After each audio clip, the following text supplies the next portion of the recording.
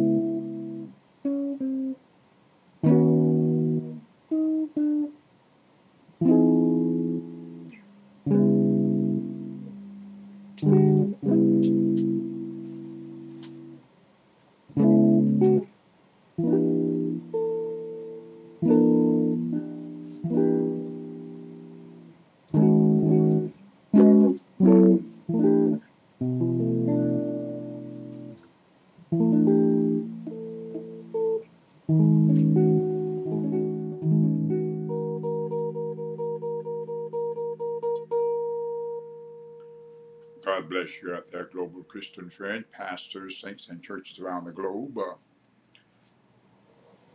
we are in Luke chapter 12. Uh, we just finished 21. So is he that layeth up treasure for himself and is not rich toward God. We said we'll go here one scripture, Second Chronicles 16 and 9, which says this. For the eyes of the Lord runs to and fro throughout the whole earth to show himself strong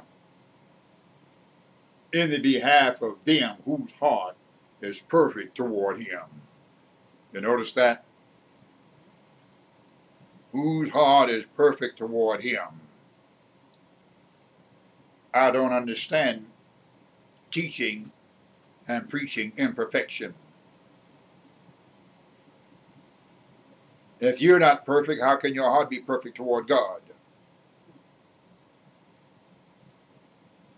How can you be rich toward God or rich in God?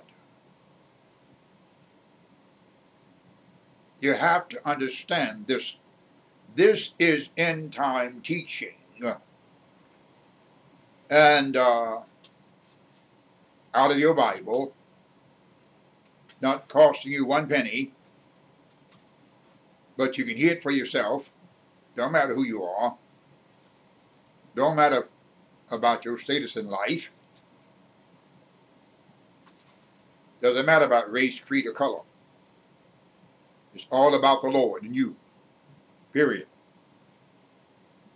God is no respecter of persons when that person is no respecter of God. Now, let's look at not worrying about tomorrow in verse 22, 12, 22. Companion scriptures, Matthew 6, 25 through 34, 19 through 21. Companion scripture. Now, Luke 12, 22. And he said unto his disciples, Therefore I say unto thee, Take no thought for your life, what ye shall eat, neither for your body what ye shall put on. The life is more than meat, and the body is more than raiment. Now, consider the ravens, for they neither sow nor reap, which neither have storehouses nor barns. Think about that. And God feed them. How much more so are ye better than they? He specified the ravens, but he generalized the fowls. Notice that? Specified the ravens, but generalized the fowls. And which of you, by taking thought, can add to his statue one cubit? Hmm. Verse 26. If ye then be not able to do that thing, that thing, T-H-I-N-G means growth as well, which is least, and uh, growth is the least when you compare growth to uh, light, when you compare growth to water, all right, growth would be the least. Why take ye thought of the rest? Consider the lilies how they grow. They toil not, they spend not. And yet I say unto you that Solomon, in all of his glory, we've gone through that before, was not arrayed like one of these.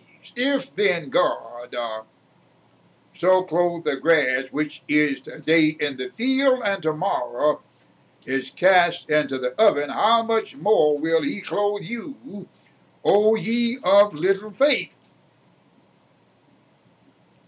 Now, in the days when God was with Israel, he said, There are children that have no faith. Deuteronomy 32 and 20, somewhere thereabout. In the days of Jesus, he said,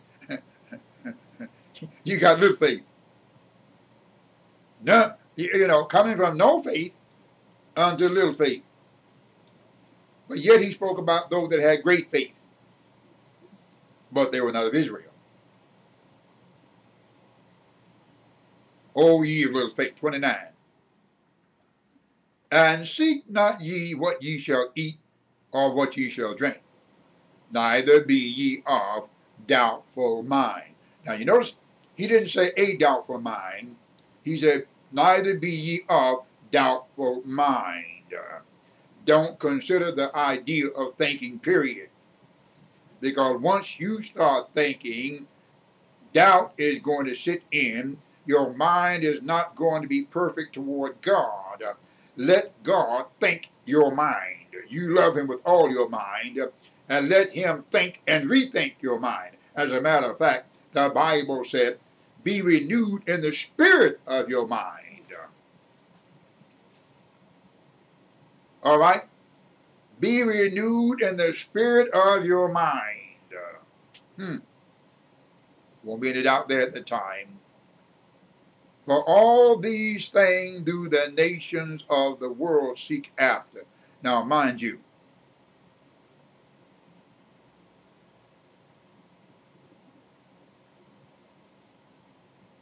the Lord God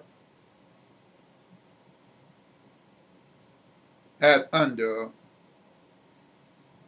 the whole heavens all the nations in his charge.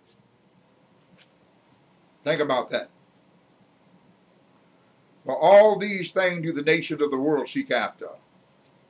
Here we go. And your Father knoweth. Now, as I said before, I would uh, uh, stop here and get me a ladder. I would stop here and climb aboard a satellite headed for this helpful and needful knowledge. Anytime you say your Father knoweth, it's time to stop and reconsider. Wait a minute. Stop letting your mind run amuck at moments like this. Your Father knoweth. You need to get a ladder and go up and find out what your Father knoweth concerning you and about you. Don't just run away. Don't let your mind run away from words like your Father knoweth. On one occasion, your heavenly Father knoweth, which means you have to have a what kind of mind? Heavenly mind. Heavenly mind. Heavenly mind?